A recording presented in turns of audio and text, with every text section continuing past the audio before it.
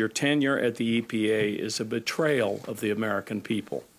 You have used your office to enrich yourself at the expense of the American taxpayer and public health, and such abuses have led to several investigations.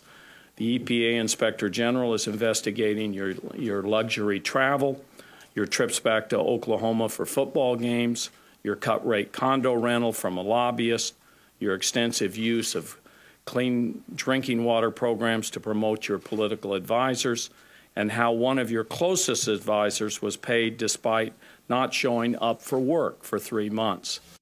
Unfortunately, I, I, am concerned that many of the important policy efforts uh, that you are engaged in are being overshadowed because of a series of issues related to you and your management of the agency. There have been reports that you encouraged the use of lights and sirens on your motorcade even though there wasn't an emergency. Is that true? I don't recall that. I don't recall that happening. Well, I'm going to submit for the record, Madam Chair, and, and um, an email that was released this morning by uh, your uh, uh, Pasquale Perrotta.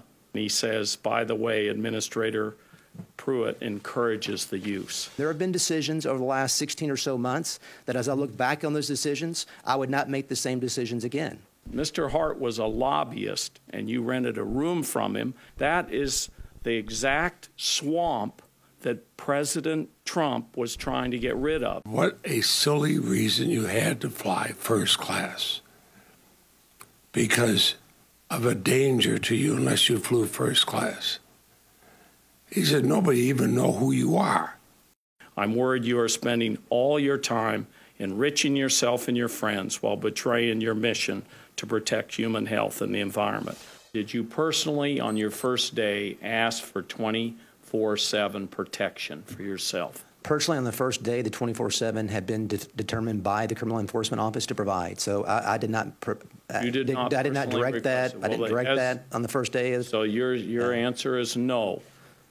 Is, my answer is I did not direct that on the first day. Uh, okay. Uh, well, yeah. all the documents dispute that. It's been reported that a member of your staff one who got a 33% raise to over $114,000 earlier this year, house hunted for you during work hours. My understanding that all activity there was yes on personal no, time. sir. Yes As I indicated, no. it's my understanding that all activity there was on personal time. And the individual that you're referring to is a longtime friend of my wife and myself. And did you pay them for it?